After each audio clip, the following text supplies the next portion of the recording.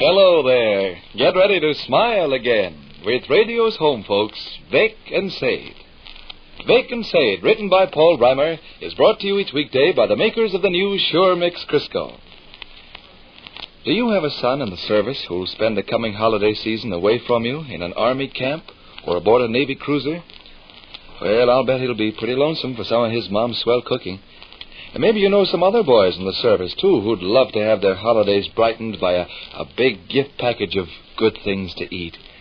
Believe me, you'll get three rousing cheers if you'll send along a box full of crunchy, delicious homemade cookies. And listen, in order to help you make up a real surprise package, we're offering you a quick, easy new recipe for Crisco holiday cookies. And listen, in order to help you make up a real surprise package, we're offering you this quick, easy new recipe for these Crisco holiday cookies. Oh, this amazing cookie recipe doesn't just tell you how to make one kind of cookies. Oh, no. It gives you directions for three delicious varieties, all from just one batter. You get about 50 cookies in three varieties from one magical batter. Why, there's rich chocolate fudge squares with pecans.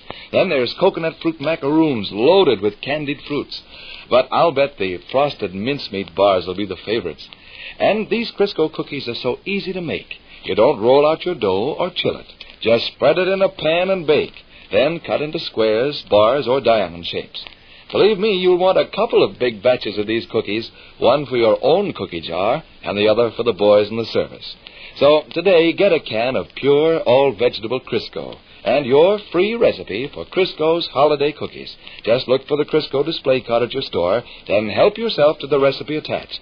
Oh, on that same recipe form, you'll find a couple of other tasty surprises, too. A recipe for spicy, rich mincemeat cupcakes, and one for delicious pumpkin pie with Crisco's sensational new pastry method for flaky, tender pie crust. If your dealer hasn't received his supply of recipes yet, he will shortly. And remember, stock up with pure, all vegetable Crisco. Well, sir, our scene doesn't open at the small house halfway up in the next block today. Instead, we take you to Mr. Victor Gook's modest office at the Consolidated Kitchenware Company, plant number 14. Vic appears to have a visitor, and the visitor is saying, Since this is business and strictly business, I thought I'd keep it on a business basis. Discuss it at my place of business, sir. Exactly. Well, fire away. I'm not interfering with your work. No. There's a lull in the day's occupation that is known as the children's hour. How do you mean? Nothing. Papa waxes witty is all. Oh, Shoot. What's on your mind? Christmas present money. Uh-huh. I had a foreboding just the other day I'd be approached on that matter shortly. Well, Christmas is getting close. No doubt about it. How much do you require? A thumping big sum. Seven thousand dollars? You consider me a comical fella, huh? yeah. I am a gay dog. Very popular with my friends on account of the funny things I say. Uh huh. How much do you want to stick me for? Twenty-five dollars. Hey, hey. I appreciate it's a huge amount. Took my breath away too when I arrived at that figure. But Gov, I've shaved it down as close as I could. See, the point is, I'm getting older every year. People expect regular Christmas presents as a fella gets older. I can't get by with giving little kid stuff anymore. Looks ridiculous from a fella 14 years old. I came to your office this afternoon, Gov, to speak straight from the shoulder and ask your man. One moment, Margaret. My telephone. Go ahead. Yes? Mr. Hudson? Okay, Miss Hammersweet, put him on. Don't let me interfere with any business you may be transacting, Gov. Quite all right. I won't stay but a few minutes. Stick around. Uh, yes, Hudson? Which invoice are you referring to? Oh, no, I think I'd contact Plant 17 on that, Hudson. Fuss is the fellow to get in touch with. Gus Fuss. Don't you know him? Uh-huh. Well, he's a good scout. He'll give you all the dope you want on those invoices. Yeah. Okay, Hudson. Okay. You certainly do transact business, don't you? Hmm, all the day's work. I'd like to bring Bluetooth Johnson and some of the guys down here sometime and let them watch you transact business. You haven't seen anything. This afternoon's been very slow. There's days when that telephone rings and don't stop ringing. And this office is crowded with as many as five people all trying to talk to me at once. Is that a fact? Oh, sure. Uh, what were you saying, Pete? I came to your office this afternoon, Gov, to speak straight from the shoulder and ask you man to man if you don't think a fellow my age ought to give his friends and relations regular gifts at Christmas time. You spoke that piece from memory, Uh, didn't you? Yeah. Speak it again. I came to your office this afternoon, Gov, to speak straight from the shoulder and ask you man to man if you don't think a fellow my age ought to give his friends and relations regular gifts at Christmas time. Very good. uh, there's more. Oh? I have here in my pocket a document listing the names of those to whom I feel Christmas presents should be sent. With your permission, I propose to submit this document and request that you give it close examination. You write that out and memorize it? Yeah. Not a bad speech. State your case in clear, concise like. I beg your indulgence once again, Harry. Go ahead. Yes? Miss Gook? All right, Miss Hammersweet. Don't tell her I'm here. Beg pardon? Don't tell Mom I'm here. She don't like me hanging around your office. Okay. Figures I make a nuisance of myself, I guess. Uh-huh. Hello there, Dr. Sleech. Can you wait just a second? There's a pretty girl sitting on my knee, and I can't get the receiver up to my ear and say, How are you, kiddo? Uh-huh. Pray, what is your idea disturbing me at my office? When, this evening? Not that I know of. Suit you, suit me, Mr. Spooner. Okay, tell him to come on ahead. Sure. Sure. Is Rush home? Uh-huh. Uh-huh. Well, when he gets home, tell him I'm going to thrash him within an inch of his life. Because he's the wickedest, headstrong boy, that's why. Okay, Sadie. You bet. Oh, usual time. Okay, kiddo. So long. Mr. and Miss Stembottom want to get an early start paying 500 this evening. oh? Sadie's a good boy. yeah. Where were we in our discussion here? I was going to show you this list of names. Uh-huh. See how long it is?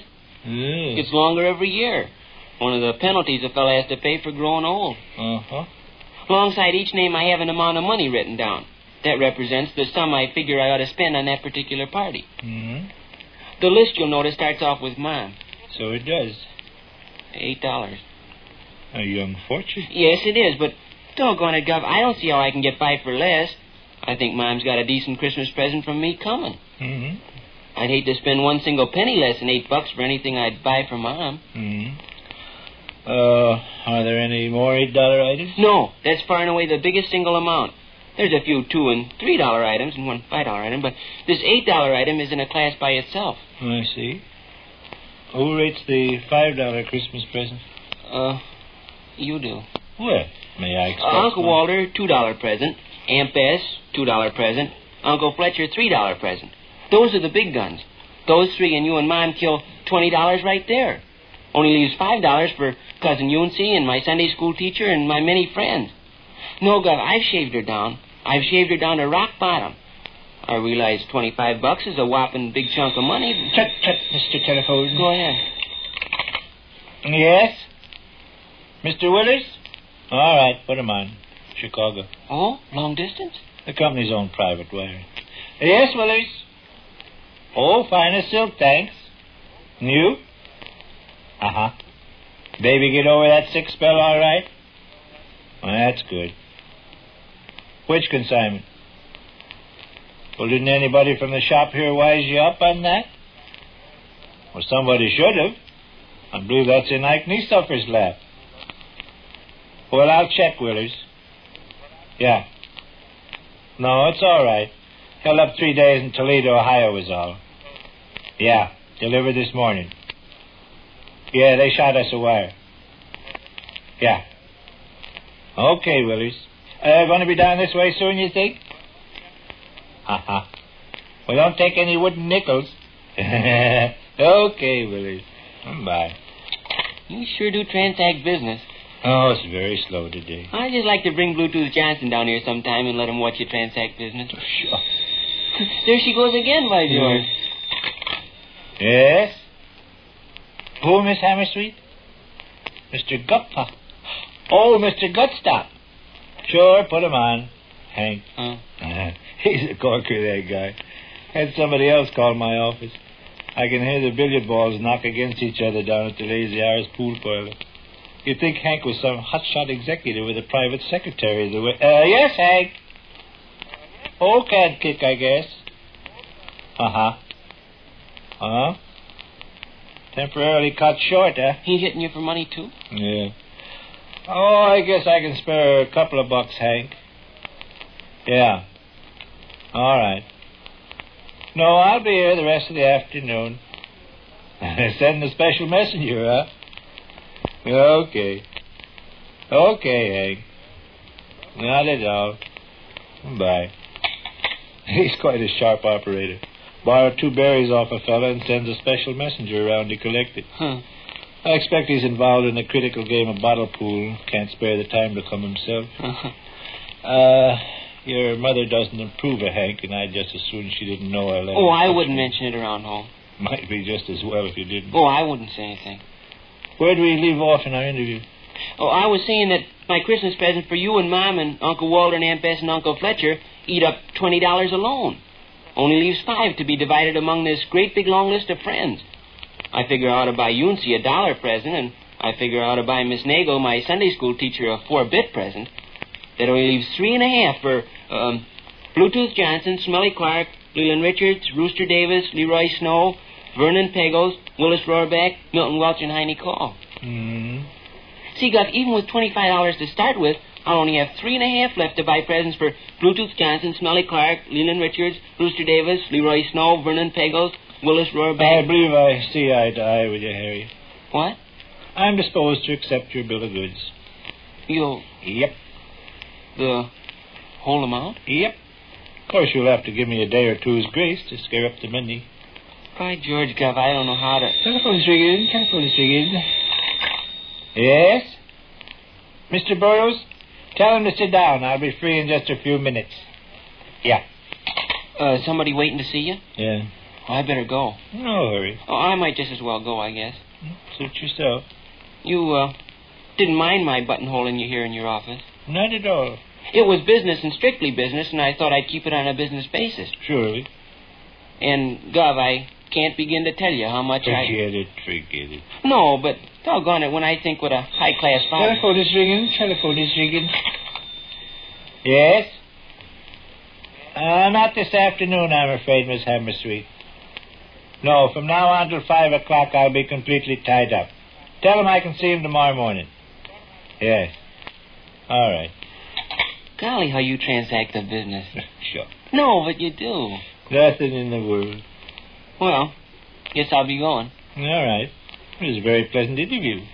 Shake hands. Sure, Come back again. I will. Goodbye. Goodbye, sir. Which concludes another brief interlude at that small house halfway up in the next block. But be sure to come along when we visit Vic and Say the next time. This is Ed Herlihy speaking. Do you want your stockings to wear and wear and wear? Well, I'll tell you what it takes. Ivory Flakes, Ivory Flakes, nightly care with Ivory Flakes helps end runners. Why, you should just see the wonderful stocking wear women are getting with Ivory Flakes care. 250, 295, even more than 330 hours of wear from a single pair. Now, long wear like that would interest you, I know. What with silk stockings getting scarcer. Yes, and here's how these women got such wonderful wear. They followed Ivory Flake's easy rules. Listen, do wash your stockings every night. Don't let them pile up. Do use lukewarm suds of pure ivory flakes. Don't use hot water or strong soaps. Do wash your stockings gently. Don't rub. We promise this easy care every night will help your stockings wear longer. You know, nine out of ten leading makers of America's most famous stockings advise nightly washing with new double quick ivory flakes for both their silks and their nylons. So, help stop runs before they start. Now take heart, do your part. Ivory flakes each night are smart. Well, what I mean is, that way you'll help your stockings to wear and wear and wear.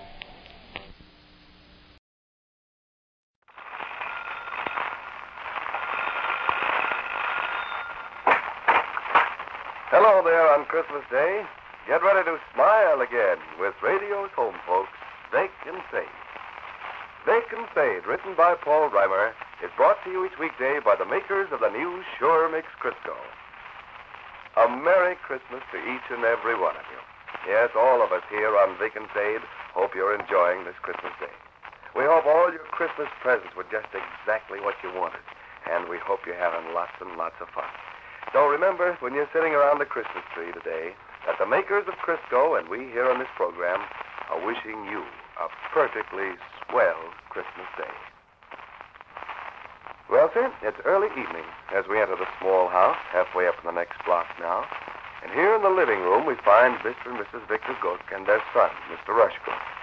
The master of the menage is replacing the telephone receiver on its hook, having just this moment concluded a conversation with his friend, Y.I.I.Y. Skeeber. And Sade, who's been idly listening, inquires, What's a North Dakota River Bottom Revel? I gather it's a beloved old wintertime custom widely observed in this part of the country. I never heard of it, Carl. Neither did I. Of course, it's possible I might recognize it under some other name. It smacks somewhat of a chivalry, where there's a wedding, you know, and everybody comes and serenades the young couple, and cigars are passed around, and so forth. Well, do Y-I-I-Y Skeeber and them plan to pull that on us? Oh, do you mind, kiddo?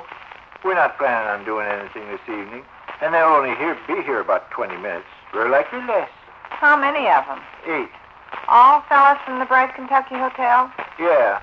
Skeever was so full of enthusiasm, I didn't see how I could very well discourage him. There's a North Dakota River bottom Riverland on foot, he says. Clear the track. Well, I had to tell him to come ahead. It's a gay, boyish wintertime prank, don't you see? don't let it disturb you, kiddo. I promise that they'll be here no more than 20 minutes. Will they want to come in the house? They'll dash in the house and then dash right out of the house. It's just a matter of, hello there, friends. By George, it's good to see you. Mrs. Gook, I never seen you look so charming. And Little Rush, too. Here, Little Rush, let me toss you into there. Nobody better toss me into the air. you get the idea, don't you? Sounds like bobsled rides young people used to go on in Dixon, where you'd pull up at every farmhouse along the road and sing a song, and maybe they'd come out and give you a cider or hot coffee. Exactly. Exactly. Oh. North Dakota River Bottom Revel. That sounds to me like kind of a peculiar name. So, why Margaret? Because I don't think there's any river bottoms in North Dakota. There's probably river bottoms in North Dakota. No, don't worry about these guys swarming in on us, kiddo. It's just a matter of in again, out again, Finnegan. They'll stop by other places besides here, I expect. Oh, millions. That's the thing of it. They'll drop in on all of their friends. We hear a clamor out in front of the house. Eight fellas, laughing and talking, tumble out of their automobiles. The door bursts open, and in swarms a crowd of merry pranksters amid a swirl of snow. It's the jolly, frosty wintertime, they holler. Hello, Vic. Hello, Sadie. Nobody in that Bright Kentucky Hotel outfit knows me well enough to call me Sadie. Mm, Mrs. Gook, then. Hello, Mrs. Gook. You've got a bloom on your cheek like a 16-year-old.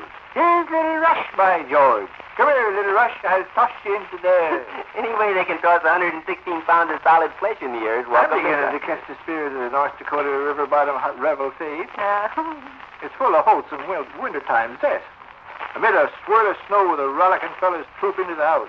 Hello, Vic. Hello, Sade. It's not snowing. What? It's not snowing. How can your eight North Dakota river bottom revelers troop in amid a swirl of snow when it's not snowing? Well, that's merely incidental. Be nice if it was snowing, though. yeah. If it was snowing, your Bright Kentucky Hotel gang could troop in amid a swirl of snow. Yeah. I'm glad to see you're smiling, kiddo.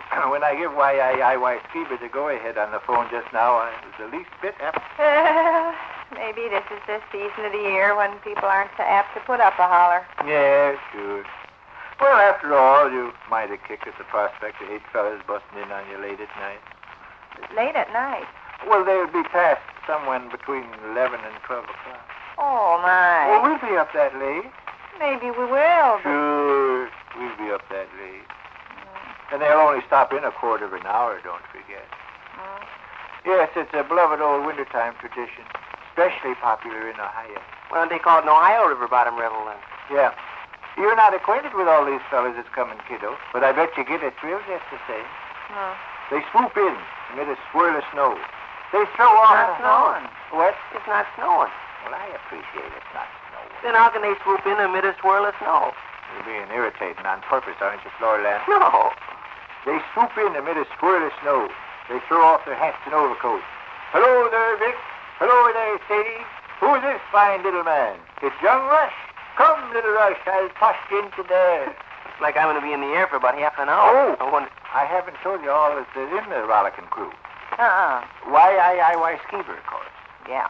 Alf Musherton, Stacy Yop, Uh-huh. I had an idea they'd be included. Glenn Webster, Raymond Berman, and Cincinnati J. Kep, Uh, Hugh H. Oatwalk. oh. Oh, and that friend of Mr. Fuller's, Mr. Fisherton. Michigan, Michigan? Yep, Uh, Michigan, Michigan? right. I can't get the guys up at school to believe that. Michigan, Michigan, Michigan, Michigan, I say. And all they do is sneer. It's a fact, I tell them. Here's a Mr. Fishigan. First name is Michigan. He resides in Michigan. That's in Michigan. But everybody scoffs and Telephone's taunts. ringing. Most Telephone. likely, good old never take any wooden nickels. What did I do with my other shoe, reliable Bluetooth Johnson? Sit still, Howard. I'll get it. Somebody calling up on the telephone amid a swirl of snow, eh, Mom? Yeah. Hello? Oh, yes, why, I, I, why? North Dakota Mountain Peak Rumpus called off of this. Oh, that a fact, why, I, I, why? Oh, it's too bad. Uh-huh. Oh, sure. You bet. Well, the rest of you are coming along? Oh, sure. Oh? Oh?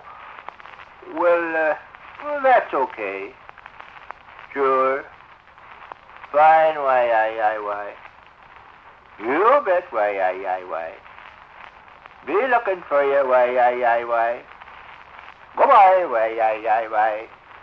If I said why, I, I, why that many times, my tongue would be twisted in between my teeth somewhere. Mine, too. Only five guys coming. Oh?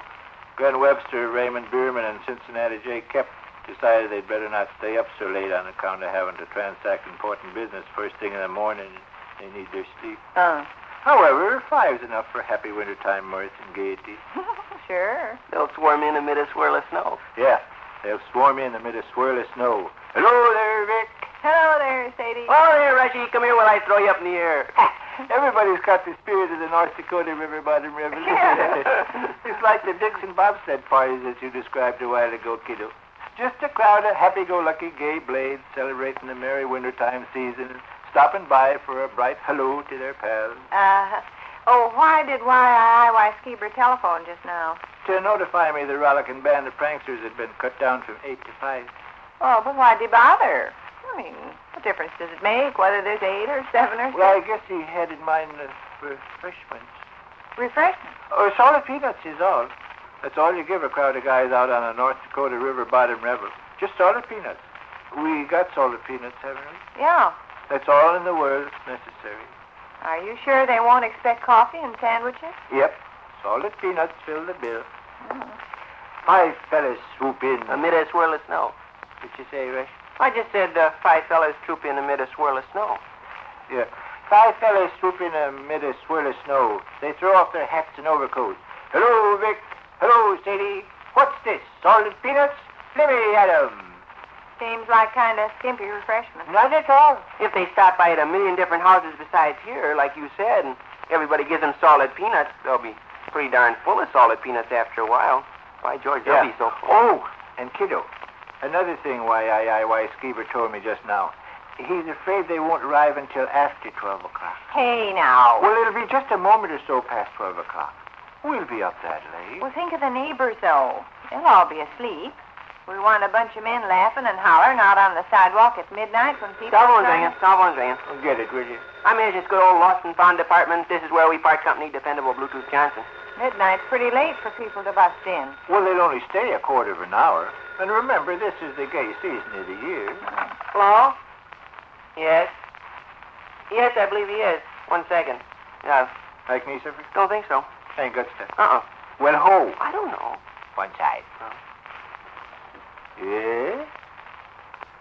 Oh, yes, why, I, I, why? Why don't they call him Kayai or I Spy Oh. or something? Person almost dislocates their jaw saying Uh. why, yai, yai, why. yeah. Well, that's too bad, why, I, I, why? Yeah. Oh, well. Sure. What you lose in quantity, you can make up in quality. sure. Well, you guys come right on ahead. Uh, beg pardon? Oh? Well, uh, won't be any later than that, will it? Uh-huh. I see why, I, I, why. You bet why, I, I, why. Bye-bye, why, I, I, why. Somebody else won't be here to swarm in amid a swirl of snow. Uh-uh. Alf Musherton and QH Oatwalker have dropped out. Oh? They don't feel like they better stay out that late either. How late? I heard you inquire. Oh, twelve thirty. Now, look, Vic. Well, we'll be up that late. First you said between 11 and 12. Then you said a split second past 12, and now you say 12.30. Oh, well, heck. Well, there's five guys out of eight quitting the North Dakota River Bottom Revel, Gov. It don't leave many guys to come swarming in the house amid a swirl of snow. Leaves three. Three jolly good fellas is quite a lot of fellas when they're all as cheery and gay and hearty as these three are. Who are the three that's left? Why, I, I, why, Skeeber, Stacy Yop, and Michigan Fishigan. Mm. You and Michigan Fishigan can laughingly talk over old times you enjoyed with your mutual friend, Mr. Buller. What old times did I ever enjoy with our mutual friend, Mr. Buller? Well, he's taken us out to meals at the Butler House Hotel on a good many occasions. Anyway, you and Michigan Fishigan got something in common to talk about. You both know Mr. Buller. Is this Michigan Fishigan you're talking about, Gov? The same Michigan Fishigan that hails from Michigan, Michigan? You know it is. I just can't get my friends to believe that. I tell them Michigan Fishigan from Michigan, Michigan, and all they do is hoot and holler. He's a Mr. Fishigan, I say. He's a Mr. Fishigan, and his first name is Michigan. He lives in Fishigan. That's a town in Michigan. But they won't believe it. Do you have sufficient salted peanuts, say? Oh, sure. With only three fellas coming, it won't require many. Golly, what if they do expect coffee and sandwiches? They won't.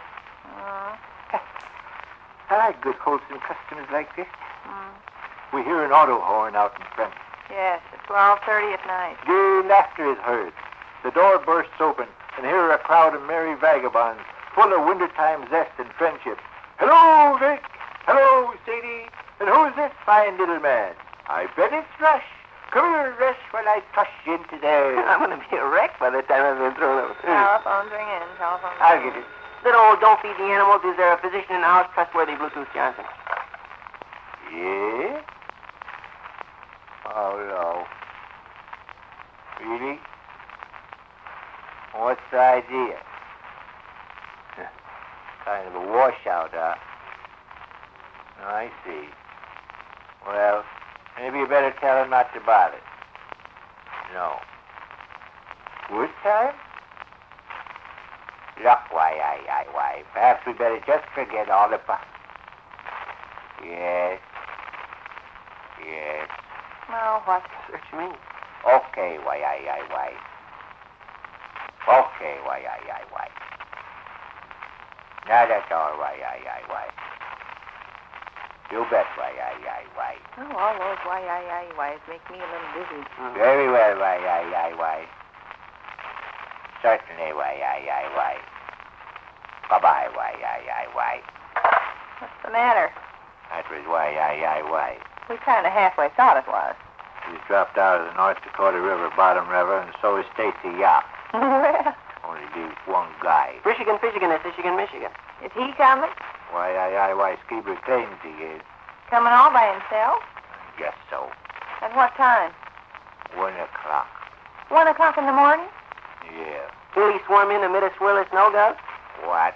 Michigan, Michigan, and Michigan, Michigan, all swarm in the house amid a swirl of snow. He'll throw off his coat and hat. Hello, Vic. Hello, Sadie. Who is this fine little man? I bet it's Rushy. Come here, Rushy, while I toss you in the air. Well, neighbors, so ends today's visit at this small house halfway up in the next block. But seems like something's always going on at the residence of Mr. and Mrs. Victor Gook. And I'll be waiting there to open the door for you when you drop in on Vic and Sade the next time. This is Ed Herlihy speaking.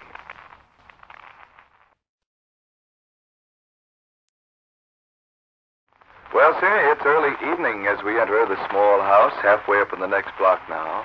And here in the living room, we find Mr. and Mrs. Victor Gook. Vic has apparently said something to upset his wife because she's regarding him wrathfully. Listen. Nuisance. It's a lot more than just a nuisance. It's a big, mean job of work. Well, I didn't know, kiddo. No, you never know. That's the man of it. Trivial thing in the world. He handed me a wad of bills and says, Gook, here's twenty dollars. Next time the missus goes shopping, ask her to pick me up a few Christmas presents and mail them. Huh? Well, that's not, not much of a chore, is it? I have to pick out a bunch of presents, wrap 'em, address 'em, and mail mail 'em, huh? Oh, I never thought anything about it, say. I imagined it was something you could maybe do in five minutes. Yeah, that's the man of it. I bet if somebody give you a bucket of paint and a brush and said, next time the missus is down on Center Street, ask her to put a couple of coats of green paint on the People's Bank building, you'd take it. Oh, hey, a ray of sunshine. Buller wants you to buy yourself a Christmas present. He pay you for your trouble. What kind of a Christmas present? Any kind you want, I guess. Take it out of the twenty dollars. Oh, Vic. Okay, I'm a fathead. How many Christmas presents am I supposed to pick out? I got a list here in my pocket. Well, let's see it. Buller says uh, I'm a bachelor, Gook. I don't know what to buy for people. Think your missus would help me out?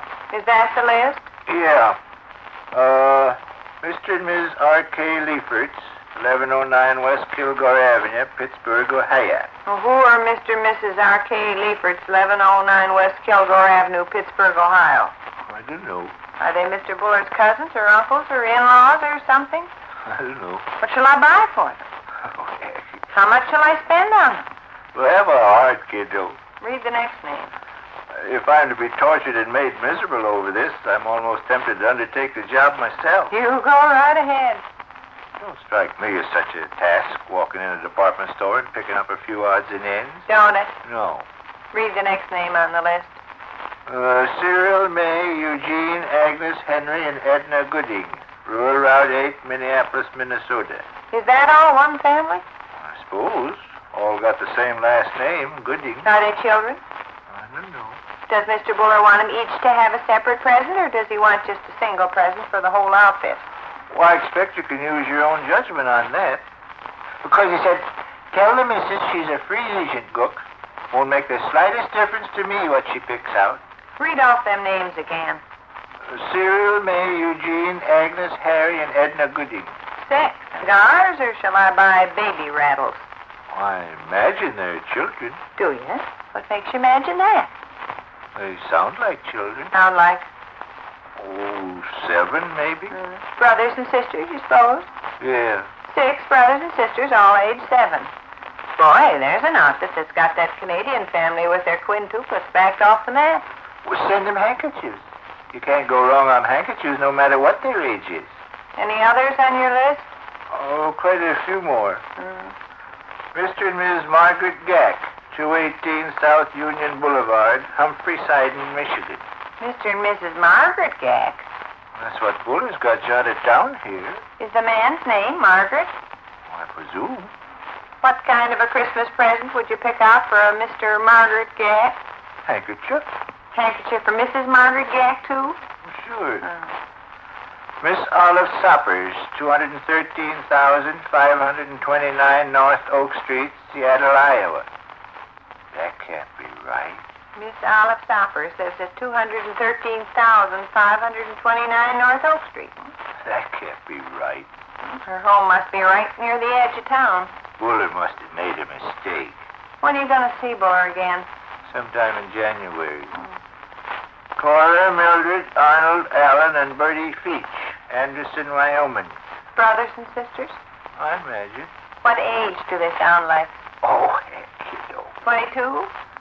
My handkerchief idea is a solution to this whole business. Everybody uses handkerchiefs. Read me some more nice names. Uh, Reverend Griswold J. Fix. Fix. Holy smoke. What's the matter? This name, I can't pronounce it. F I X O L M H T H R Y. Fix Olmsby, I guess. Reverend Oswald J. Fix Olmsby. Where does he live? 19,608,402 West Grove Street? Lives at 716 Creeper Boulevard, Yatchman, Texas. Suppose he'd like a nice handkerchief? Probably be charmed with a nice handkerchief. Is that all the people? No, uh, Emmett Chindle Jr. and Moses. Moses. Yeah, Who's Moses? maybe his little boy. Or his horse, or his dog, or his butler, or his uncle. It was awful sloppy the way he jotted down these names. Uh, Emmett Chindle Jr. and Moses, room 619, Indianapolis, Wisconsin. room 619, Indianapolis, Wisconsin. Yeah. That's some dandy address. Emmett Chindle Jr. and Moses probably live in some hotel, and Buller carelessly forgot to put it down. Uh, Cyril, May, Eugene, Agnes, Harry, and Edna Jackson. Rural Route 10, Funnel Orchard, Montana. that's the same outfit you read before. Uh-uh. Well, sure it is. Look up at the top of your list there. Oh, uh, Oh, I remember oh, those. no, by George. Sure, Cyril, May, Eugene, Agnes, Harry. Oh, wait a minute. The people up at the top of the list are named Goody, and they live in Minnesota. This other gag's name is Jackson, and they live in Montana. Both outfits got the same bunch of first names. Yeah. Cyril, May, Eugene, Agnes, Harry, and Edna Goody. Rural Route 8, Minneapolis, Minnesota. And down here, Cyril, May, Eugene, Agnes, Harry, and Edna Jackson. Rural Route 10, Funnel Orchard, Montana. Quite a coincidence. Yeah. Any more nice people? Uh, Culvert C. Culvert. Culvert Culvert Company, Culvert Building, 2126 Culvert Street, Culvert, Kentucky. Oh, come now. No, that's down here. Let's see one. Hmm? Culvert C. Culvert. Culvert Culvert Company, Culvert Building, 2126 Culvert Street, Culvert, Kentucky. Hey, look at all those names. There's quite a few. How much money did Mr. Buller give you? Twenty dollars. And out of that twenty dollars will have to come postage and everything. Well, twenty dollars ought to stretch out okay if you buy handkerchiefs. I should think twenty dollars is less. Telephone's ringing, telephone's ringing. I'll get it. Fred Newsy? Wouldn't be surprised. Feel like five hundred? Sure.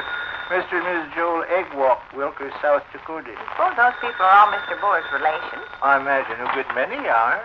Yes. Oh, yes, Fred. Just had an idea it was you. No, not a thing in the world. Why, I bet we'd jump at the chance. Sure. All right, Fred, we'll be looking for you. You bet, Fred. You bet. Goodbye, Fred. Just pump up a tire. They'll be here in half an hour or so. Uh-huh. Here's some relations. Huh? Glenn Stover, Helen Willis, and Forstaw Buller, 560 West Wilk Street, Mexico City, Connecticut. Hmm. Here's the last name on the list. Fishigan, Fishigan, Sishigan, Michigan. What? Fellow's name is Fishigan. First name is Hishigan. Lives in a town called Sishigan, in Michigan. Oh, no. Yeah. Hishigan, Fishigan, Sishigan, Michigan. Oh, my stars. I'm glad to see your good humor's restored, Sadie. Uh, how many names on that list? Uh, 34. Can you get 34 ha- good handkerchiefs for 20 bucks? Oh, sure. How much do you make the postage will? Oh, say five dollars. Leaves $15 for handkerchiefs. Uh, Well, that's in the neighborhood of uh, 45 cents per handkerchief.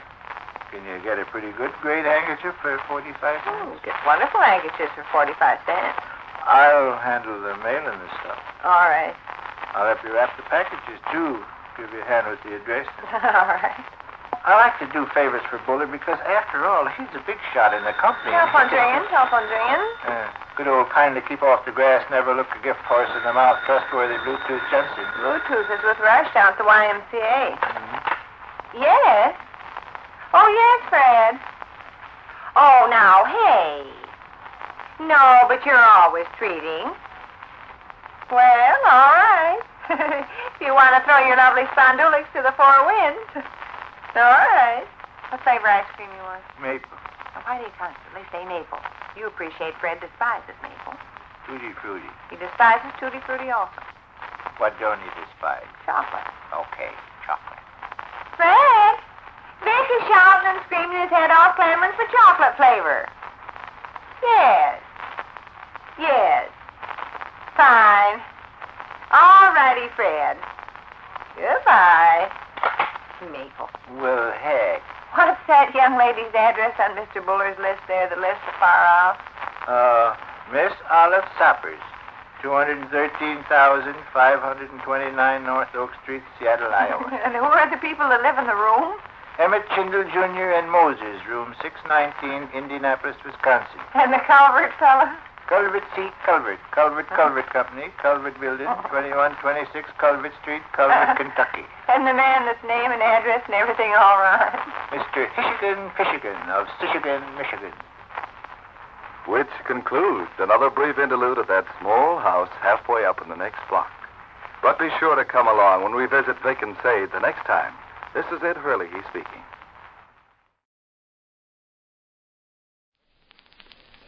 Well, sir, our scene doesn't open at the small house halfway up in the next block today. Instead, we take you to Mr. Victor Gook's modest office at the Consolidated Kitchenware Company, plant number 14. Vic appears to have a visitor, and the visitor is saying, Since this is business and strictly business, I thought I'd keep it on a business basis. Discuss it at my place of business, sir. Exactly. Well, fire away. I'm not interfering with your work. No. There's a lull in the day's occupation that is known as the children's hour. How do you mean? Nothing. Papa waxes witty is all. Oh, Shoot. What's on your mind? Christmas present money. Uh-huh. I had a foreboding just the other day I'd be approached on that matter shortly. Well, Christmas is getting close. No doubt about it. How much do you require? A thumping big sum. Seven thousand dollars? You consider me a comical fella, huh? yeah. I am a gay dog. Very popular with my friends on account of the funny things I say. Uh huh. How much do you want to stick me for? Twenty-five dollars. Hey, hey. I appreciate it's a huge amount. Took my breath away, too, when I arrived at that figure. But, Gov, I've shaved it down as close as I could. See, the point is, I'm getting older every year. People expect regular Christmas presents as a fella gets older. I can't get by with giving little kid stuff anymore. Looks ridiculous from a fella 14 years old. I came to your office this afternoon, Gov, to speak straight from the shoulder and ask your man. One moment, Margaret. My telephone. Go ahead. Yes? Mr. Hudson? Okay, Miss Hammersweet, put him on. Don't let me interfere with any business you may be transacting, Gov. Quite all right. I won't stay but a few minutes. Stick around. Uh, yes, Hudson? Which invoice are you referring to? Oh, no, I think I'd contact Plant 17 on that, Hudson. Fuss is the fellow to get in touch with. Gus Fuss. Don't you know him?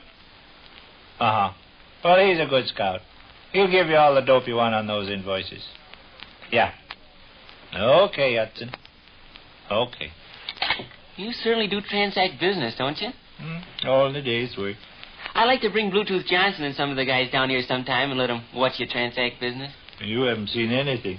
This afternoon's been very slow. There's days when that telephone rings and don't stop ringing. And this office is crowded with as many as five people all trying to talk to me at once. Is that a fact? Oh, sure. Uh, what were you saying, Pete?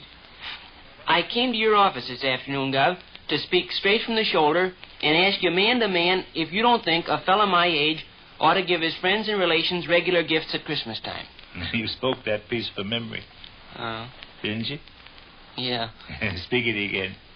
I came to your office this afternoon, Gov, to speak straight from the shoulder and ask you man to man if you don't think a fellow my age ought to give his friends and relations regular gifts at Christmas time. Very good. uh, there's more. Oh? I have here in my pocket a document listing the names of those to whom I feel Christmas presents should be sent. With your permission, I propose to submit this document and request that you give it close examination. You write that out and memorize it? Yeah. Not a bad speech. State your case in clear, concise like. I beg your indulgence once again, Harry. Go ahead. Yes? Miss Gook? All right, Miss Hammersweet. Don't tell her I'm here. Beg pardon? Don't tell Mom I'm here. She don't like me hanging around your office. Okay. Figures I make a nuisance of myself, I guess. Uh-huh. Hello there, Dr. Sleech. Can you wait just a second? There's a pretty girl sitting on my knee, and I can't get the receiver up to my ear, and she... How are you, kiddo? Uh-huh. Pray, what is your idea disturbing me at my office? When, this evening? Not that I know of.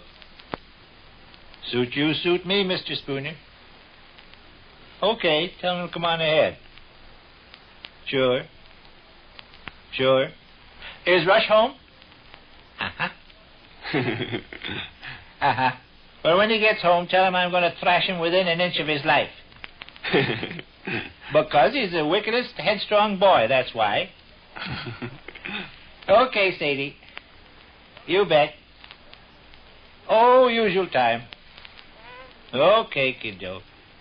So long. Mr. and Miss Stembottom want to get an early start playing 500 this evening. oh, Sadie's a good boy. yeah. Where were we in our discussion here? I was going to show you this list of names. Uh-huh. See how long it is? Mm. It gets longer every year. One of the penalties a fella has to pay for growing old. Uh-huh. Alongside each name, I have an amount of money written down. That represents the sum I figure I ought to spend on that particular party. Mm-hmm. The list, you'll notice, starts off with Mom. So it does. Eight dollars. A young fortune. Yes, it is, but doggone it, Gov, I don't see how I can get by for less. I think Mom's got a decent Christmas present from me coming. Mm-hmm. I'd hate to spend one single penny less than eight bucks for anything I'd buy for Mom. Mm-hmm. Uh, are there any more eight-dollar items? No, that's far and away the biggest single amount. There's a few two and three dollar items and one five dollar item, but this eight dollar item is in a class by itself. I see. Who rates the five-dollar Christmas present? Uh, you do. Well, may I Uh, Uncle my- Walter, two dollar present. Aunt Bess, two dollar present. Uncle Fletcher, three dollar present. Those are the big guns. Those three and you and Mom kill twenty dollars right there. Only leaves five dollars for cousin Euncie and my Sunday school teacher and my many friends. No, Gov, I've shaved her down. I've shaved her down to rock bottom. I realize twenty-five bucks is a whopping big chunk of money. Tut, tut, Mr. Telephone. Go ahead. Yes? Mr. Willers? All right, put him on. Chicago. Oh, long distance? The company's own private wire. Yes, Willers? Oh, fine as silk, thanks. New? Uh-huh. Baby get over that sick spell all right? Well, that's good. Which consignment? Well, didn't anybody from the shop here wise you up on that? Well, somebody should have. I believe that's in Ike Kneesuffer's lap. Well, I'll check, Willers. Yeah. No, it's all right. Held up three days in Toledo, Ohio was all. Yeah, delivered this morning. Yeah, they shot us a wire. Yeah. Okay, Willers. Uh, going to be down this way soon, you think? Ha ha. Well, don't take any wooden nickels. okay, Willers. Bye. You sure do transact business. Oh, it's very slow today. I'd just like to bring Bluetooth Johnson down here sometime and let him watch you transact business. Oh, Sure. there she goes again, my George. Mm. Yes? Who, Miss Hammersweet? Mr. Gutpa. Oh, Mr. Gutstop. Sure, put him on. Hank. Oh. Uh-huh. He's a corker, that guy. Had somebody else call my office. I can hear the billiard balls knock against each other down at the Lazy Hours pool parlor. You'd think Hank was some hotshot executive with a private secretary. The way, uh, yes, Hank. Oh, can't kick, I guess. Uh-huh. Huh? Temporarily cut short, huh? He hitting you for money, too? Yeah. Oh, I guess I can spare a couple of bucks, Hank. Yeah. All right. No, I'll be here the rest of the afternoon. Send a special messenger, huh? Okay. Okay, Hank. Not at all. Bye. He's quite a sharp operator. Borrowed two berries off a fella and sends a special messenger around to collect it. Huh. I expect he's involved in a critical game of bottle pool. Can't spare the time to come himself. Uh, your mother doesn't approve of Hank, and I'd just as soon she didn't know I left. oh, I wouldn't me. mention it around home. Might be just as well if you didn't. Oh, I wouldn't say anything. Where do we leave off in our interview? Oh, I was saying that my Christmas present for you and Mom and Uncle Walter and Aunt Bess and Uncle Fletcher eat up twenty dollars alone. Only leaves five to be divided among this great big long list of friends. I figure I ought to buy Euncie a dollar present, and I figure I ought to buy Miss Nagel, my Sunday school teacher, a four-bit present. That only leaves three and a half for um, Bluetooth Johnson, Smelly Clark, Leland Richards, Rooster Davis, Leroy Snow, Vernon Pegos, Willis Rohrbeck, Milton Welch, and Heine Call. Hmm. See, Guff, even with twenty-five dollars to start with, I'll only have three and a half left to buy presents for Bluetooth Johnson, Smelly Clark, Leland Richards, Rooster Davis, Leroy Snow, Vernon Pegos, Willis I believe I see eye to eye with you, Harry. What? I'm disposed to accept your bill of goods. You Yep. the whole amount? Yep. Of course, you'll have to give me a day or two's grace to scare up the money. By George, Guff, I don't know how to. Telephone's ringing. Telephone's ringing. Yes? Mr. Burrows, tell him to sit down. I'll be free in just a few minutes. Yeah. Uh, somebody waiting to see you? Yeah. Oh, I better go. No hurry. Oh, I might just as well go, I guess. Suit yourself. You, uh, didn't mind my buttonholing you here in your office. Not at all. It was business and strictly business, and I thought I'd keep it on a business basis. Surely. And, Gov, I can't begin to tell you how much I... Forget it, forget it. No, but doggone it, when I think what a high-class father... Telephone is ringing. Telephone is ringing. Yes? Uh, not this afternoon, I'm afraid, Miss Hammersweet. No, from now on till five o'clock, I'll be completely tied up. Tell him I can see him tomorrow morning. Yes. All right. Golly, how you transact the business. sure. No, but you do. Nothing in the world. Well, guess I'll be going. All right. It was a very pleasant interview. Shake hands. Sure, Come back again. I will. Goodbye. Goodbye, sir. Which concludes another brief interlude at that small house halfway up in the next block. But be sure to come along when we visit Vic and Sade the next time. This is Ed Herlihy speaking.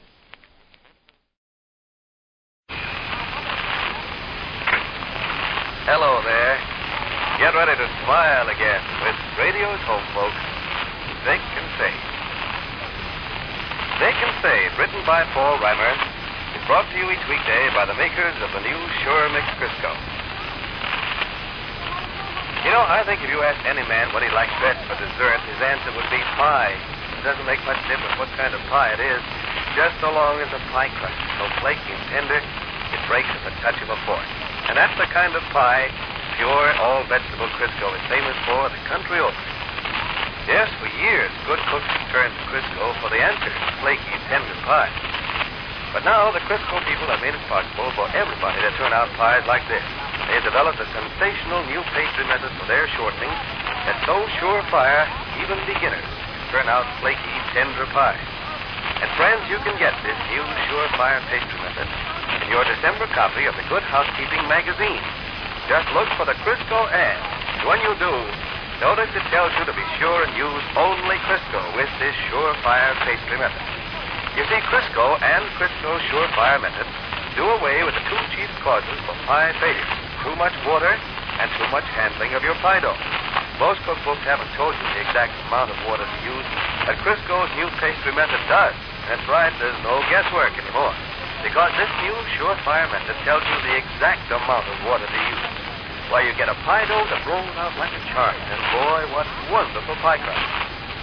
So why not be sure your pie crust will turn out flaky and tender? Ask for pure all-vegetable Crisco at your store today. Then follow Crisco's new surefire pastry method. Remember to get this new surefire pastry method. You don't have to buy anything. You don't have to go anywhere. All you have to do is look in your December issue of the McCall's Magazine, Ladies' Home Journal, Woman's Home Companion, or Good Housekeeping. You will find complete directions for Crisco's new surefire pastry method in the Crisco ad. Well, sir, the evening meal has been over only a little while, as our scene opens now. Here in the, the living room of the small house halfway up in the next block, we find all our friends assembled. Mr. and Mrs. Victor Gook are seated side by side on the Davenport with sections newspaper, but they aren't reading at the moment, being requested by their small son to listen to a thrilling passage from our third Lieutenant Mrs. Stanley's story. The handsome young officer regarded the band of counterfeiting coffee ground fortune tellers with the utmost contempt. You are nothing but a band of counterfeiting coffee ground fortune tellers, he taunted, and he threw a protecting arm around Lady Margaret. The beautiful woman coquettishly extricated herself from his affectionate grasp and trotted off a few pages. I love you, sang out Sir Lieutenant Stanley.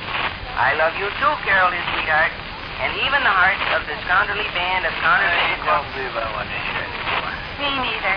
Okay. Lieutenant Stanley's a. So is Lady Margaret. Okay. Uh, we got anything on the docket particularly tomorrow evening? Tomorrow evening? Not that I know of. Why? Why? No. What's this now? Anything's a very even Wednesday. Somebody's coming here? Well, maybe if it's okay with you. Who's coming? Perhaps somebody nice. Perhaps someone you like. Uh-huh. I can tell by the way you're acting. Someone I like. What's the discussion, people? I'm all through with my book. Old third lieutenant put the kibosh on the counter counterfeiters. Seeing to it that every last one of them got their just desserts. Ice cream and cake apple. Beg pardon? You said the counterfeiters got their just desserts. I hope the desserts were ice cream and cake. oh, I know. It's not much of a deal. What's the discussion? Yes, what is it? Who's fixing us tomorrow night? Robert and Slobber King from Hoopston, Illinois? Nope. Why White Flirt from Nebraska? Nope. Well, who? It's somebody like that. Here's the guess. Alf Musher? You're getting one. You're getting one. Why I I White Hebrew? Who's the third and remaining barber at the Butler House Hotel Barbershop? Stacy Alf, huh? He's coming. Well, we got nobody else coming, have we? We got no plans for tomorrow night. What's Stacy Alf coming for? Dave, do you remember last week Stacy all of a sudden turning from right-handed to left-handed? No. Sure you do. It was the afternoon we were going to clean the attic, and I was writing a special magazine article. All right, I remember. What about it? Dave, during the time that has elapsed since Stacy Yup suddenly turned from right-handed to left-handed, the phenomenon has repeated itself no less than 60 or 70 times. He went back to right-handed again?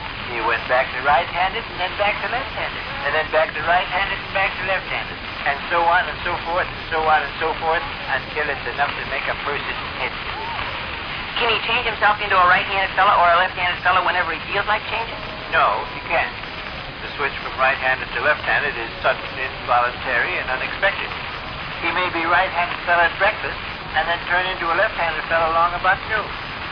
That Science tells us, kiddo, that people are right-handed or left-handed depending on the whereabouts in their skull of their medulla and their oblongata are located. Now, you explained that the other day. Oh, did I? Yeah. Did you understand it? Sure. If your medulla is on the right side of your skull and your oblongata on the left side of your skull, you'll be right-handed. The medulla and oblongata, of course, are the parts of the brain.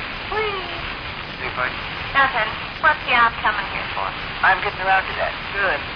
The converse of what I've just described naturally is true. If a person's medulla is situated on the left side of their skull and their oblongata on the right side, I know all about that. are you sure? What's the op coming here for? Well, I'll tell you. Good. Dr. Fowler B. Stockers, a distinguished Montana physician, surgeon, lecturer, and brain specialist, arrives in the city tomorrow. That's so? Dr. Stockers is to deliver a talk at the Butler House Hotel addressing the members of the Better Businessmen Club. Yeah, I read about that in the paper. Sure. These days, Rush read about it in the paper. Congratulations, Rex. Oh, I read stuff in the paper. This particular item I I'm did... still curious about good old right-handed Stacy and why he's visiting us tomorrow night. You can't put two and two together. No. Stacy wishes to consult Dr. Stockers. Oh. In all probability, Dr. Stockers will have sound theories about Stacy's astounded condition. He may be able to put his finger on the reason for Stacy's being right-handed one minute and left-handed the next. Then Dr. Sockers is coming too, then? Yes, we may well be proud to admit him to our home. He's a famous Montana physician, lecturer, surgeon, teacher, brain specialist, and polo player. The four of us can get up a game of polo. Five of us. I'll be on deck.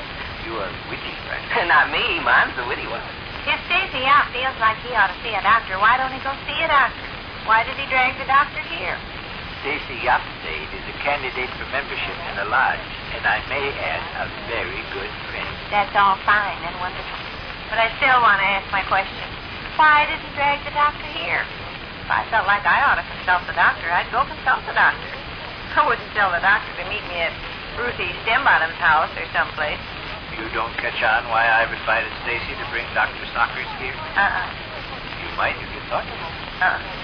I got a halfway idea, Gov. A humorous one, no doubt. No, on the level. What is your halfway idea? Well, this Dr. Sockers is traveling around the country and naturally has no office in town. Can't go consult a doctor in his office if he's got no office.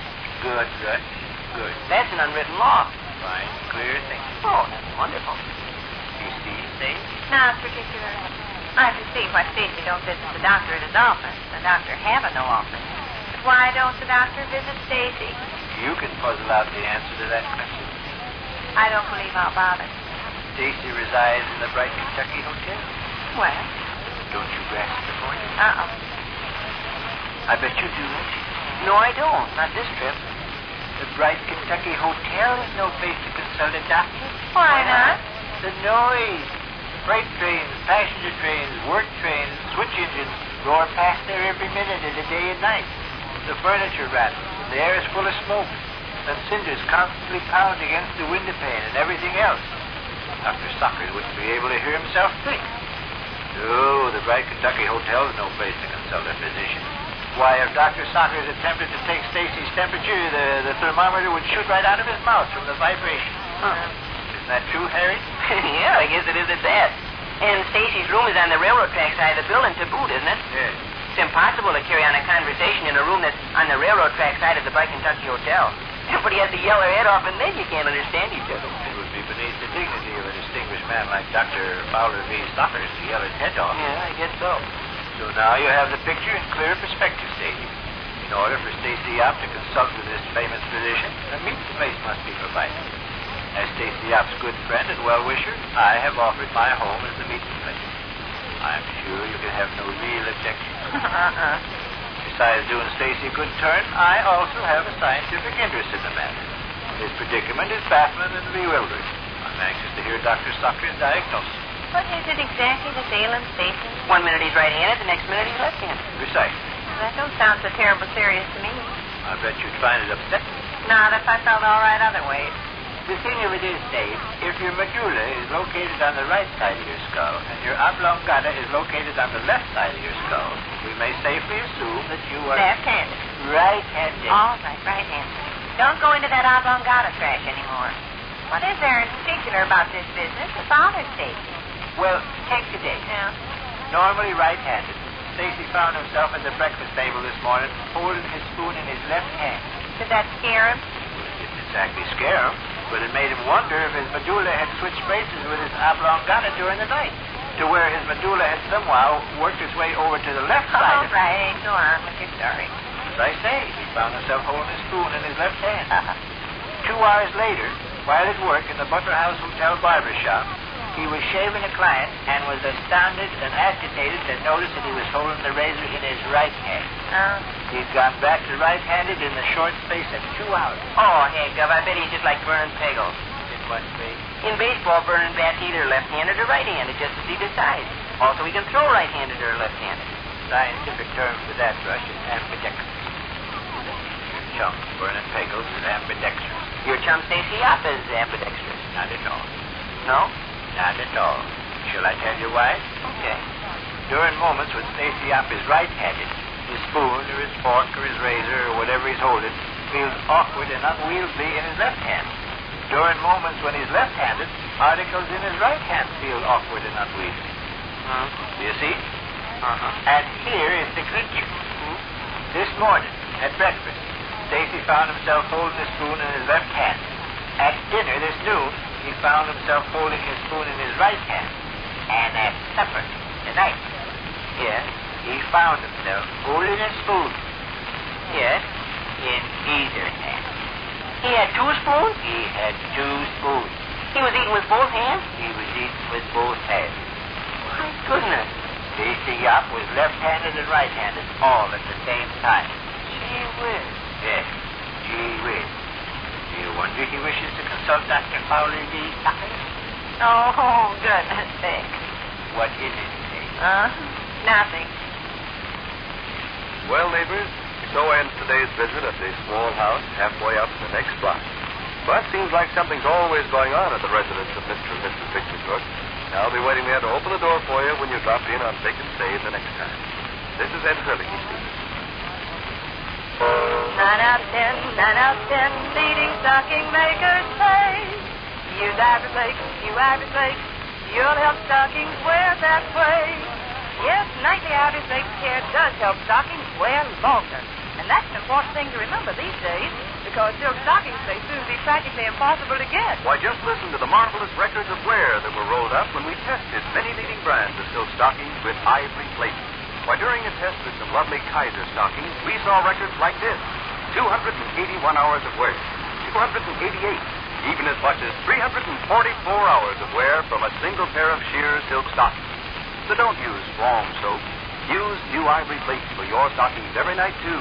Just see if you don't get longer wear.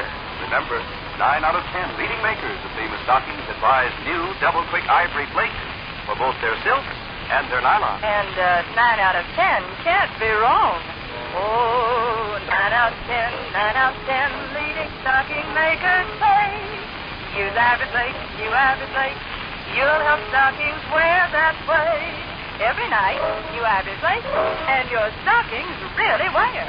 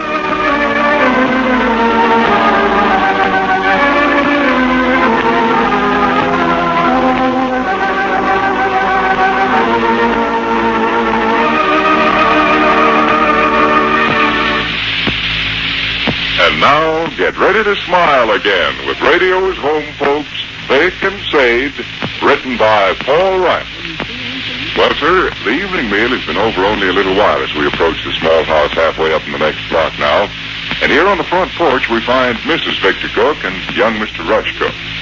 Mother and son are swinging gently in the swing, idly discussing this, that, and the other thing.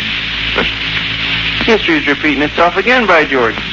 Because you and I are sitting out here in the swing, huh? Got been talking on the telephone? Yes, and also because Mr. Chin Bunny and Frida are over on Carl's porch eating ice cream. Well, you take history, it'll repeat itself. That's right, Uncle Fletcher. You know, I think Mr. Chin Bunny eats his ice cream in that big, elaborate, ostentatious way just for show. He loves ice cream. Watch how he slides the spoon in and out of his mouth with his head way back and his eyes rolling around. He almost shudders with delight he loves ice cream so much. That's what I mean. Nobody's that crazy about ice cream. I think he goes through that performance for show. To indicate to his hostess he's enjoying himself. Well, maybe. There used to be a lady come visit us once in a while in Dixon when Bessie and I were small. She used to go through a lot of foul to row to demonstrate she liked what my mother served for dinner. Oh. Rush, I never tasted such mealy potatoes. Oh, what biscuits. Oh, Mrs. Rush, you simply got to give me the receipt for this pie. oh, dear, Miss McCauley, her name was. Uh. We stopped talking too so long on the phone. Michigan, Fishigan from Michigan, Michigan. Oh? When I went to the kitchen to get a drink, I heard him saying, that's right, fish. Fish. Fish is short for Michigan. Fish, fish from Fish Mish, huh? yeah. Uh, Mr. Chin Bunny's gonna eat his cake now. Yeah, got his ice cream all cleaned up. I bet 45 cents he eats that way for sure. People don't love ice cream so much they swoon and pant and get dizzy. He probably thinks. By golly, if here aren't the two people I like best in all the world. Too warm in that living room, I bet. Yeah, but how about Smittage? You've been in there for must have been half an hour. Uh-huh. Well, I guess I better see if I can hoist these poor old bones up on the railing. Okay. Beg pardon? I'll give you my seat. Not at all, not at all. I'm glad to sit on the railing. There's my seat. Well, thank you. We go through the same ceremony every night. If I didn't offer to get up and let you sit in the swing, you'd yank me out of it by my ear. Yes, that's right. I would. Mr. Chin Bunny over on Carl's porch eating cake. Hmm? He looks like he was a cat and somebody was scratching his back. Yes, he does.